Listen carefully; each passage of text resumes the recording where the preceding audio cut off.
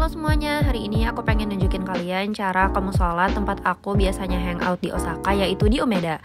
Pertama kalian ke information center yang ada di lantai 3 dan tinggal bilang ke staffnya kalau kalian pengen gunain musolanya. Kalau kalian udah lapor, kalian tinggal turun ke lantai satu tempat di mana musolanya berada dan beginilah penampilannya dari luar. Kalau kalian masuk ke dalam, ruangan laki-laki dan perempuan itu terpisah dan beginilah penampilan musola perempuan lengkap dengan sejadah dan juga penunjuk kiblat. Selain itu, dia juga menyediakan tempat wudhu yang terpisah untuk laki-laki dan perempuan. Oh iya, tambahan buat ciwi-ciwi, jangan lupa pada bawa mukena ya. Kalau kalian udah selesai makainya, kalian bisa tinggal meninggalkan ruangan aja tanpa lapor lagi. Selamat beribadah.